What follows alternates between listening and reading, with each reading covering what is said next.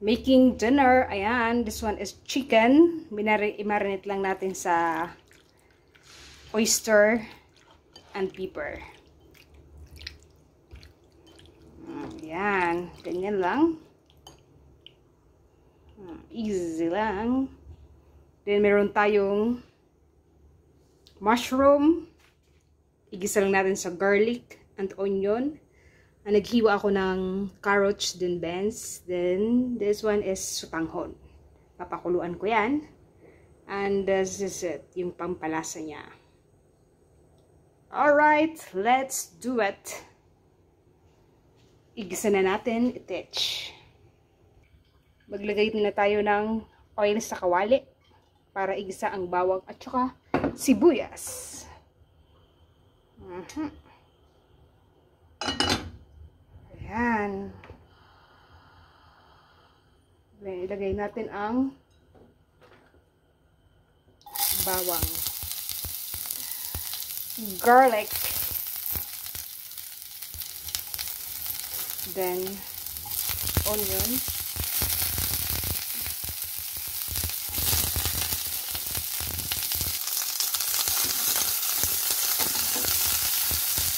At paanda rin natin ang excess pan kasi mangangamoy ang bahay.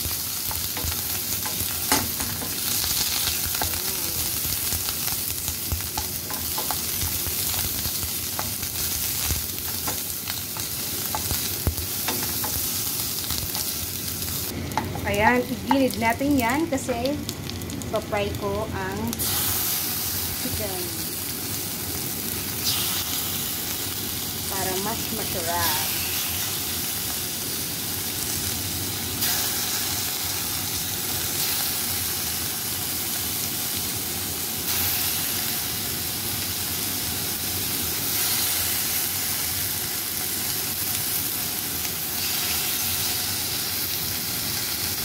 Ayan.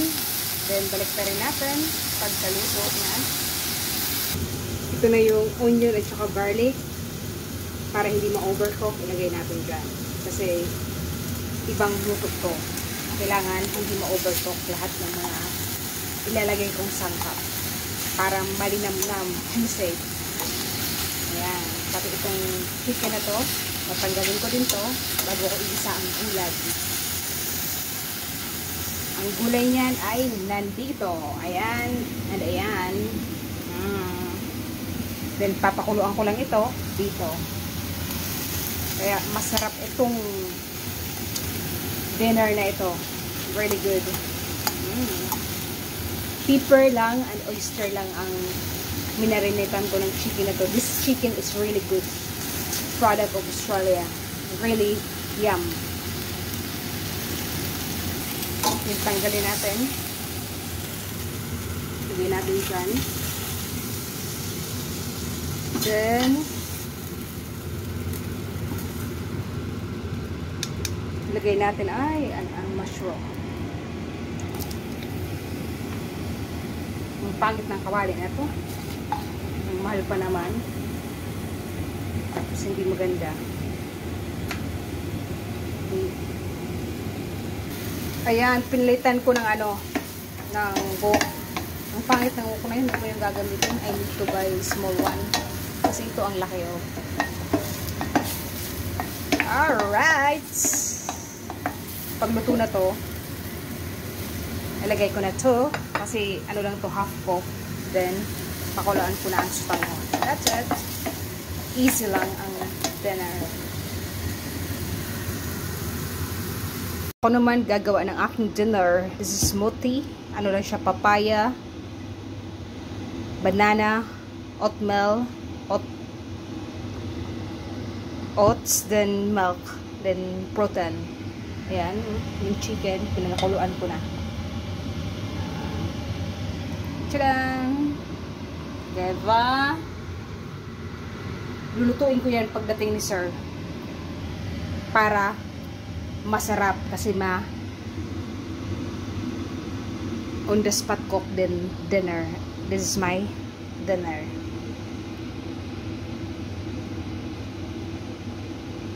Bago ako nagluto, tapos na rin ako mag-exercise for one hour.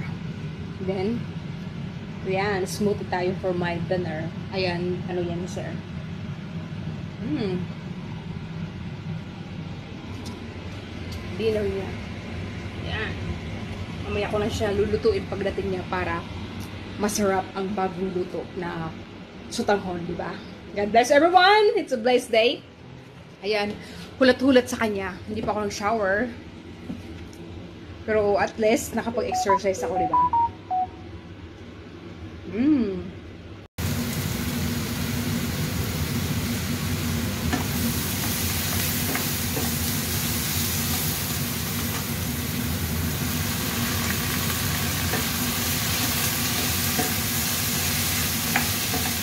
Yan, bukam lang natin.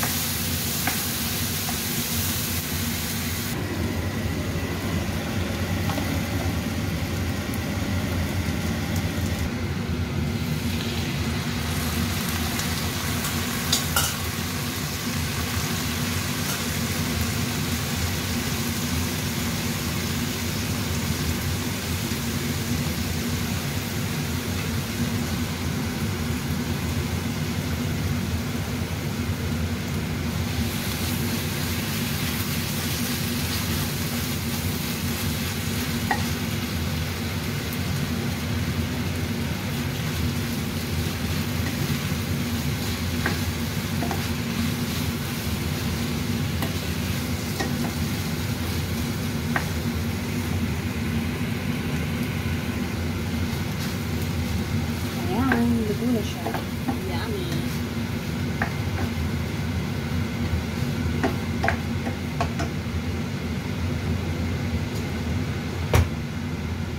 Tikman ko lang ng paanda.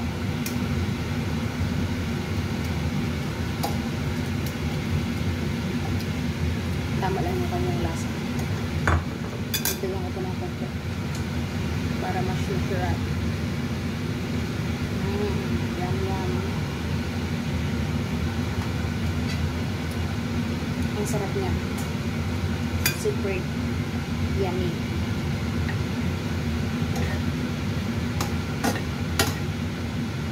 Mm, Yum, yum.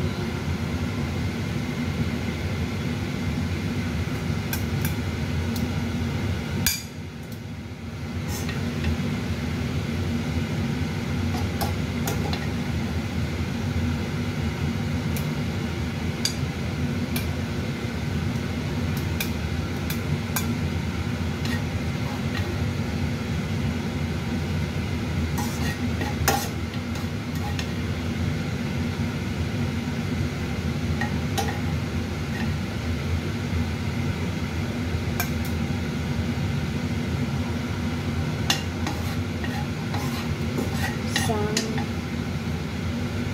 order.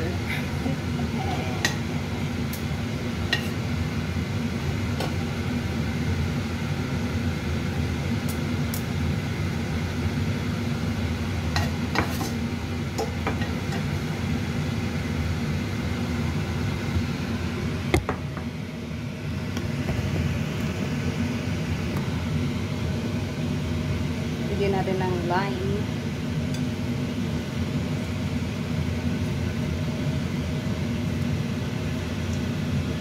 Tikman ko ang sobra.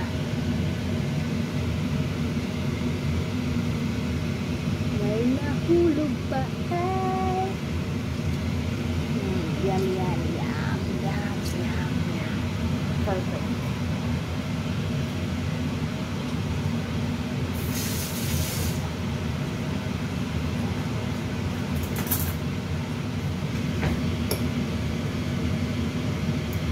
Ayan. So good. Nagtira lang ako ng konti para matikman ko ang lasa. Alright, everyone. Thank you for watching. Bye! Nandito na siya. Bibigay ko lang to sa kanya. Bye!